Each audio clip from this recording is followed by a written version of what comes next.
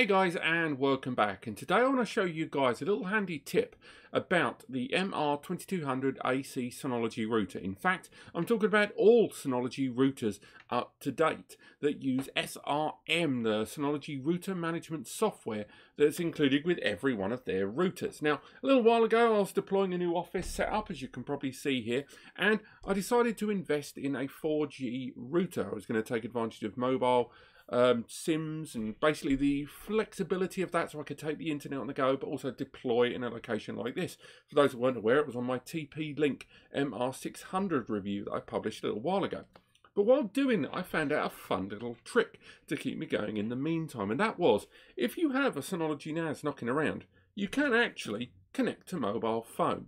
You can take a mobile phone with its own 4G internet and connect this via a wire to this and therefore turn this wireless point utilizing tethering, so a wired point, into the Synology router and therefore make that internet accessible to anyone connecting to the router.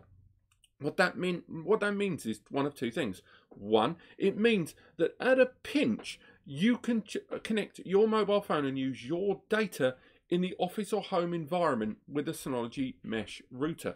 The second thing that's quite cool about it is as a failover. If you've got old phones knocking around, and we've all got drawers full of mobile phones, what you can do is have a phone connected to the router if you use it for business and have a SIM card in there. Maybe a pay as you go, chuck a tenner on there and not use it, or some sort of contract plan. And then what you've got there is a fail over internet connection. You can have multiple internet connections on the router, and if one fails and your business revolves around your internet connection, you've got a backup one utilizing 3G or 4G. Now, this same system works with USB dongles as well, but the reason I want to talk about a phone is because we've all got phones, and as long as it's connectable by USB and it's on a compatibility list, which Synology update a great deal more than a number of other compatible devices, I've got to say, third party, then you are working and it's going to be great. So what we're going to do today is connect this phone to this router. Now,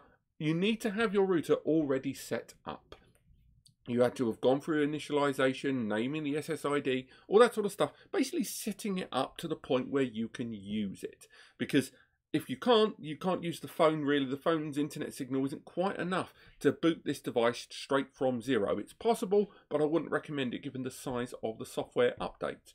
So once you've got the device set up, you can have an internet connection at all times, but as you can see, this is not a device that we're using with a LAN connection at the rear. This is the USB cable we're going to be using, and the device itself is not in a mesh network. This is a single device. And at the same time, I'm going to be screen recording here on my laptop during the setup. So when you move to the screen in a moment, you will see that I'm connected to this router and there is no internet at this time. And then what we're going to do is connect the phone, talk you through the steps that you need to follow, and then from there, have this device up and running for the first time. So let's make our way to this screen. Right, so you can see here that I'm logged into this Synology router, and as we see down here, I have got no internet signal. I'm connected to the router, but there is no internet.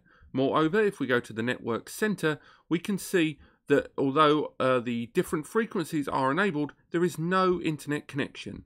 There is no connected USB device, and if we make our way into the control panel, we can go all the way down to the bottom, look at the devices, and see that there is no external devices connected.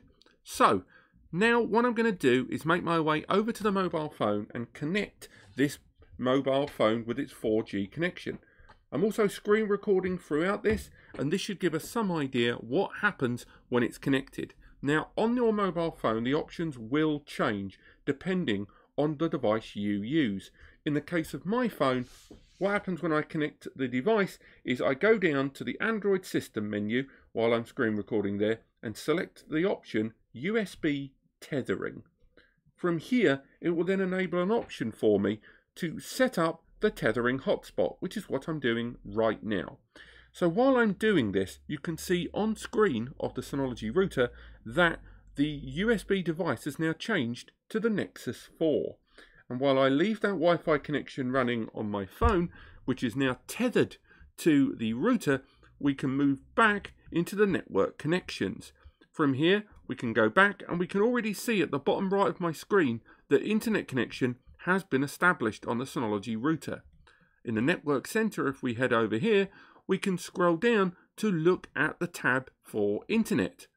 And via the internet tab, we can then move over to the 3G and 4G interface. As you can see, no network cable is being detected, but at the same time, our mobile signal is detected. And although roaming is not enabled on this particular internet um, uh, phone provider and indeed internet provider on my mobile device, what I can do is then start searching the internet. So say we look up one of the routers from Synology, we can make our way in, and boom, we have the internet connection. And it's as straightforward as that to set up a mobile phone to become a access point for your router utilizing the 4G tethering hotspot option. A great little option and with the added bonus that if you connect an internet connection, you can then have both of them running simultaneously for a failover.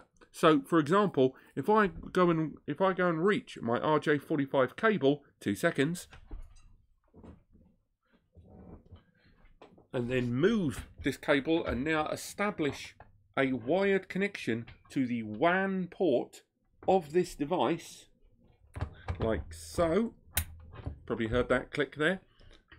What will happen now is the system will start to acknowledge the fact that I've connected this cable. So at the moment it cannot detect the network cable, but that is shortly going to change. If we refresh this page, the system will start interacting and adding this second internet connection to our Synology router, the MR2200AC. And now, of course, we have two internet connections. And these two internet connections mean we have both a standard internet connection and a failover. So in the event that one of your internet connections falters, you still have a backup. So whether you're going to utilize this, like me, to have a temporary solution for a lack of wired internet, or to have it as a failover option in the future, something I'll still do, this is still something that's worth considering and certainly a great little extra in the Synology router system.